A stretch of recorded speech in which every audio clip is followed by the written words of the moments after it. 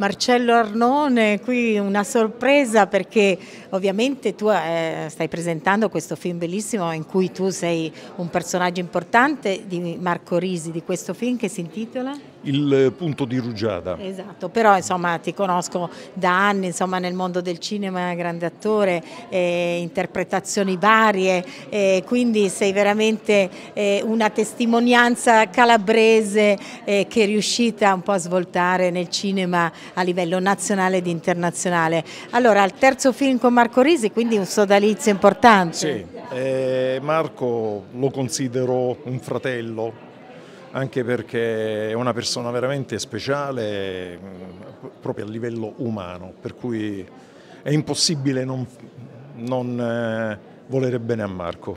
Parliamo di questo film, ovviamente anche un po' autobiografico per il regista e eh, della tua parte.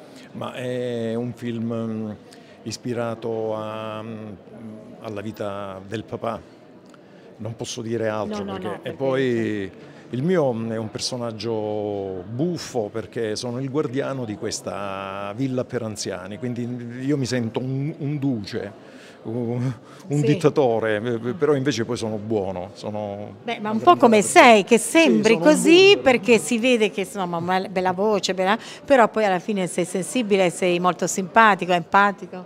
Eh, lei lo può dire benissimo perché in un film abbiamo lavorato insieme ed era una mia vittima, quindi... Eri cattivo con me però.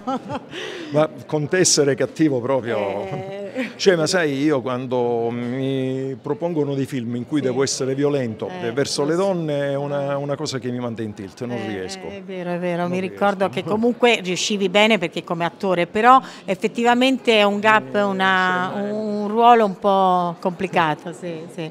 E allora Marcello, adesso vabbè, sta uscendo questo film di Marco Risi, poi prossimi eh, progetti, avventure? Guarda, ci sono in uscita altri due film, eh, uno il il, titolo è Una preghiera per Giuda, dove il mio rivale è Macete, Danny Treju, attore che lavora spesso nei film di Quentin Tarantino. Ah.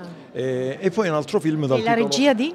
Eh, Massimo Paolucci. E poi c'è questo film Runner di Nicola Barnaba dove sono un poliziotto privato. Bene, bene. E tutte e due sono comunque in Italia, girati in Italia? Sì, sì. girati in Italia. Bene. Ormai forse mi sono fatto vecchietto, non mi fanno andare più fuori. No, che vecchietto, assolutamente. Bene, allora eh, so che sta iniziando la, la, proiezione e poi hai parlato benissimo di Marco Risi, quindi deve essere contento anche di questa cosa biografica, insomma è anche esaltazione come persona.